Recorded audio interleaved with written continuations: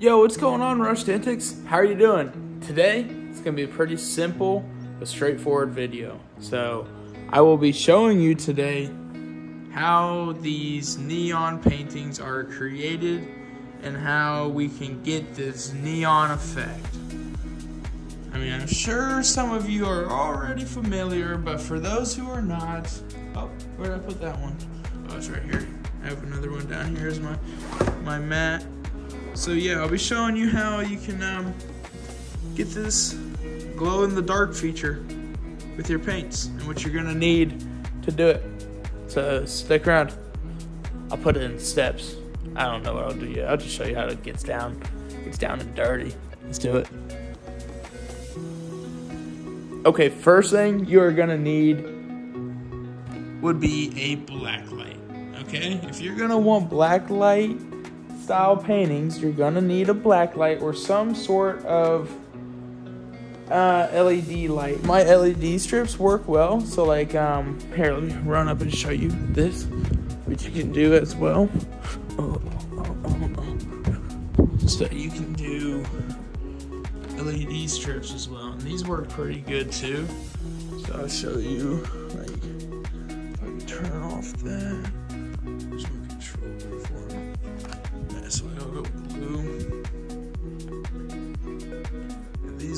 Affect the color as well.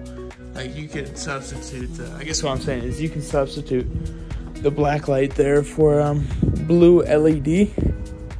And you can get somewhat of the same effect. But if you want strong, really strong, vibrant colors, definitely get you a, a black light. Find you a good one on Amazon. And yeah, you'll be set up. So, first thing you need, black light. So, and then second thing you're gonna need is a canvas or some sort of medium to paint on. Uh, you can do bags. I do backpacks, uh, shirts, whatever you want to do whatever you want to paint. Anything's paintable. I mean, come on now. Look at my lampshade. Anything is paintable. Hold on, let me show y'all. Dun, dun, dun, dun, dun, dun. Turn off. Turn off. Yeah, there we go. So, like I'm saying, anything is paintable. So, find your medium. That's what you got to do after you acquire a black light. What are you going to paint? You get that figured out, we're ready to move on. So, after you have your black light and your canvas, what you should work on acquiring is some blacklight interactive paint. And so, what I use personally is I just go to Hobby Lobby and I'll get this stuff right here. This is a fluorescent sort of paint. so, if you see fluorescent, that's a pretty good cue that that stuff's gonna be glowing beautifully under a black light. And also, this is a pour acrylic, and this is an iridescent paint, I believe. But this one also interacts under the um, black light. So, see what works for you out there. Do some research. But this is what works for me. If you just want some simple stuff, fluorescent, and if you see something crazy, boom, something like that. And yeah, they have. You can even look on Amazon like black light paint. But yeah, boom. Hobby Lobby's got these. That's where I get that. Shout out to Hobby Lobby. Free advertising. But yep. So you get your paint, and now next step is just to create. So let's get down and dirty in it. Oh, hold on. I about forgot another important step is you're gonna want something to sometimes put your paint in or uh, just something uh, I use scrapers mostly or some pouring and uh, a brush get you a brush going and you're gonna be really set to go. Now we're ready to create. You get your stuff you're gonna use. You get your medium. You get your tools. Paint. Black light it's a good life. Let's go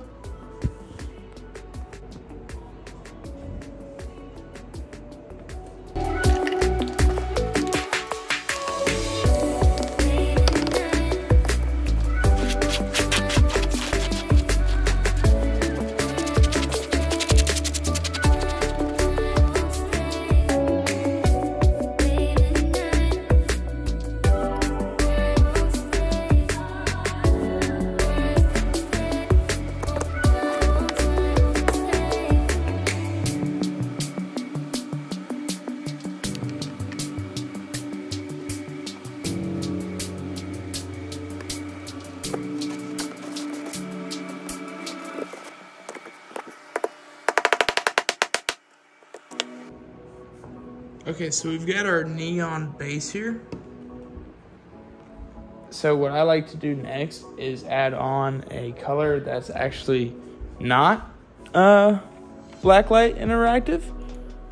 I mean, this is just personal reference at this point, so I'm gonna do it this one.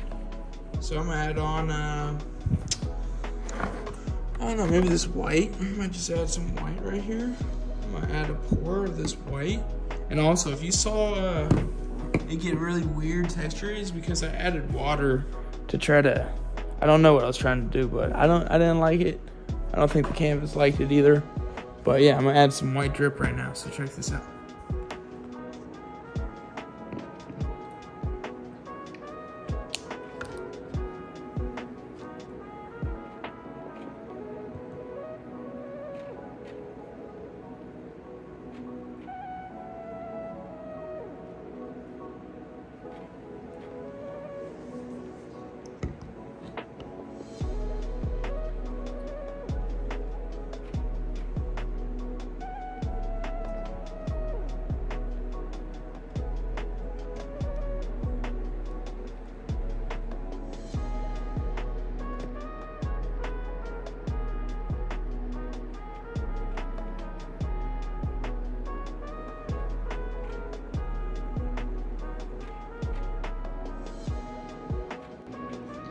So see, by adding that little um, non-neon color, it adds like a contrast kind of to the painting, which I enjoy a lot. And you can just play around with other colors because like there's a lot that you can do that's a little different with everything. That's just the best part about creating. Everything you do, you find out something new you can do. So that's why I'm making this video, just kind of motivate you, get you going. Just let you know you're capable of creating I don't know why you wouldn't think you aren't, but if you think you are not, you are. Um, so yeah, I need to plant an RA up on this, and we're gonna call it a little bit of a day.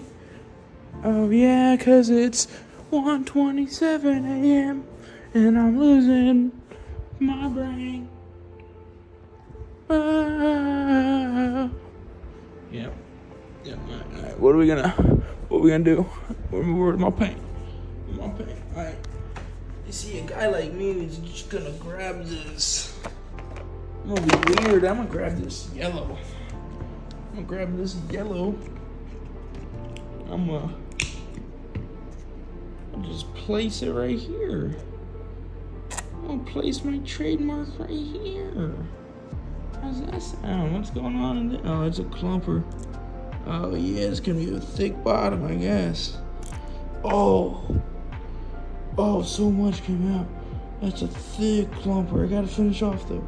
R to the A to the double A. Just kidding, no double A, just R to the A. R to the A. That is fire. That is fire. That's a problem, but it's fire. Oh, look at that, folks. Oh, rushed antics. Are we out here? Are we out here? We are. And so are y'all. So you tag me if you make a blacklight canvas that you get inspired to make from this video. And I want to see it. I want to see it. I really hope that all stays. I will. But wow, guys, that actually looks really cool. I just say that every time. I love it. Everything you create awesome.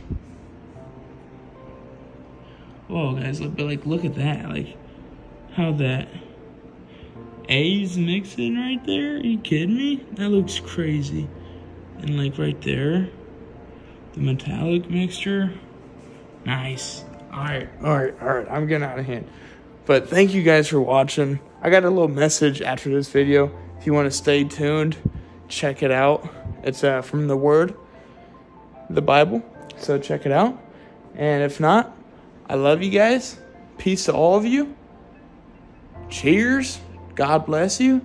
You are all amazing and are here for a purpose. Let's do it. See you later. Hey guys, so right on for watching the video and everything. I just want to throw this in here. It's just um the verse that has been sticking with me this past week It's right here in Revelation. It's um Revelation chapter 2, 4. So it says, Yet I hold this against you. You have forsaken the love you had at first. Consider how far you have fallen. Repent and do the things you did at first. And if you do if you do not repent, I will come to you and remove your lampstand from its place.